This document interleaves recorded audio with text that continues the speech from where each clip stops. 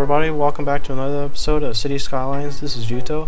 This is going to be a very short video basically demonstrating the stress testing that I've done uh, the past week on this new industrial junction that I've created here in this video.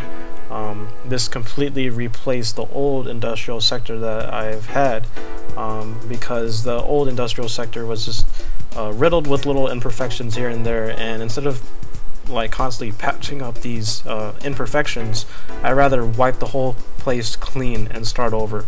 So that involved me making multiple drafts last week, which ultimately resulted in me not uploading a video last Thursday. So this is going to be the episodes.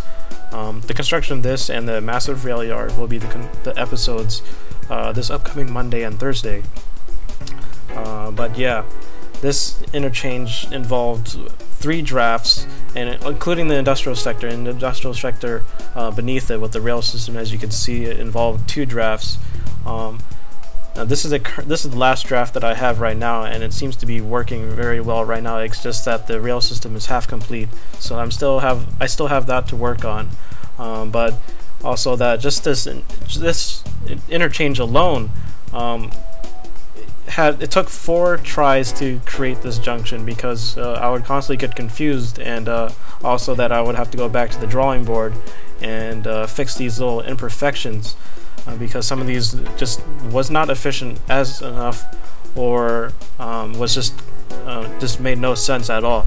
So uh, this is the, the final draft I believe not really final but um, just very it's getting very close uh, right now it seems to be working very very well. Uh, just a little bit areas that are um, probably need a little bit work on and there's also some ramps that are missing as well. But uh, hope you guys enjoy this small time lapse and uh, I'll see you guys Monday.